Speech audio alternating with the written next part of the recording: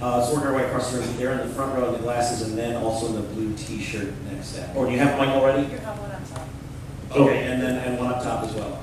Um, so I'm sorry, did you have a mic or I couldn't see if you were? Oh no, you just have one. Okay, so down here, down here in the front row, then there in the blue, and then the one up top.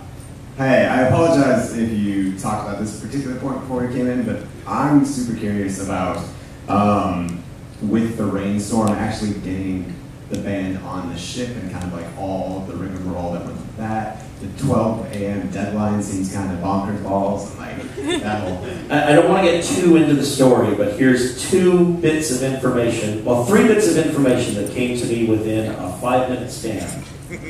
One was the band was totally up. For, well, we, we originally thought we were going to ask just the two Johns to do a real stripped down, old school show.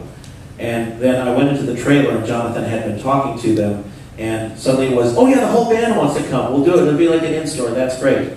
Immediately following that, I found out we could not get any vehicles onto the pier to get, you know, say an Uber XL or something to get the band to the ship, uh, because by law they couldn't move a vehicle on the pier until all the people were gone. Then I received a call about three minutes later that customs, because of rules, because several of the performers weren't sailing with us, they were just coming aboard as visitors. They were required by law to be off the ship at 11:59, or we were going to face a hefty fine.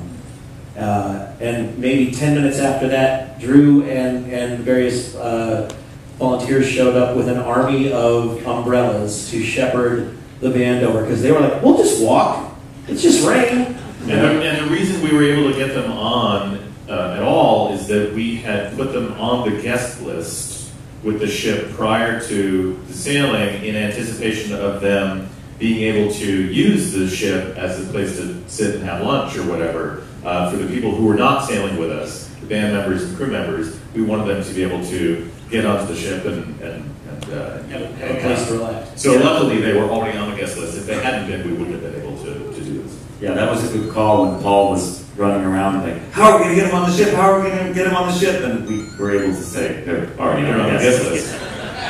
That, that was a good moment. Yeah.